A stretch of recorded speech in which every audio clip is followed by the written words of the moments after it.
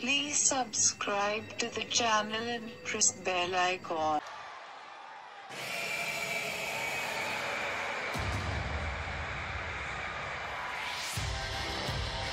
Now, so much for that moment.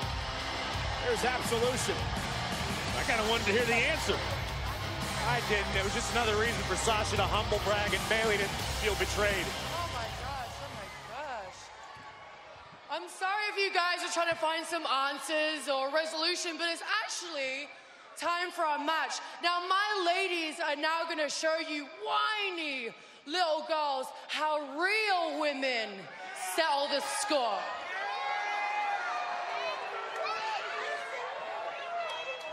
So this is going to be an interesting matchup tonight. It's a tag team match. Deville and Rose So did they settle? against, against Bayley and Sasha, but now Bayley and Sasha have to get along to survive in this match. that's, the, that's the thing. Did they settle anything? No. Are they on the same page? Are they and? Sasha better have Dr. Phil on speed dial right now because they're about to catch a beat down on behalf of Absolution. I tell you what, every time Sonya Deville comes out, we know exactly when she is ready to go because there is no joke